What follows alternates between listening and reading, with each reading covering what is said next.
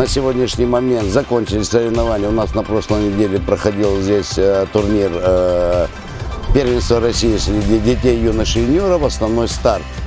Было очень много регионов, достаточно сложные маршруты, сложное прохождение.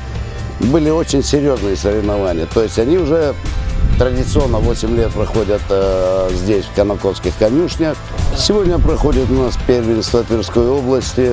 Контингент людей, состав участников, всадники очень сильные. Приехали с многих регионов России, так сказать.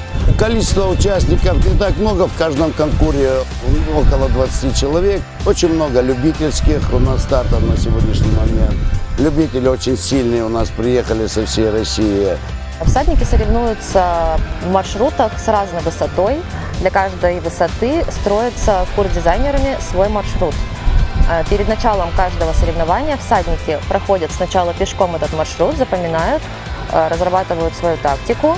Тренер объясняет, как где сделать какой поворот, как где сколько галопов всадник должен сделать на лошади. И потом они уже идут, э, садятся на своих лошадей, разминаются и сюда по одному уезжают и проходят этот маршрут получают определенное количество штрафных очков, засекается время специальным у нас э, секундомером и выявляется победитель.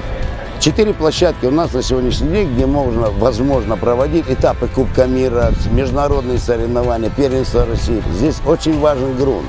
Очень самый лучший грунт в России, я считаю, это мое мнение как специалиста, это здесь. Организация хорошая, кубки, медали, то есть э, Борис Сохович, Э, предлагает очень много усилий для того, чтобы здесь у нас проводились такого ранга соревнований.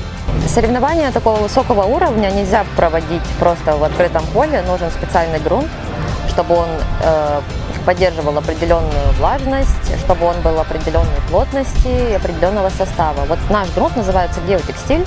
Здесь э, у нас белый кварцевый песок морской и специальные такие тряпочки, которые вот и называются геотекстилем. Такой грунт хорошо держит э, удары копыта, то есть он не расползается, а вот именно лошадь хорошенько может оттолкнуться и очень удобно ей по такому грунту работать, прыгать и так далее.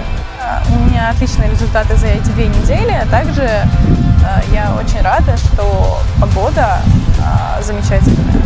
И это открытие летнего сезона, в котором мы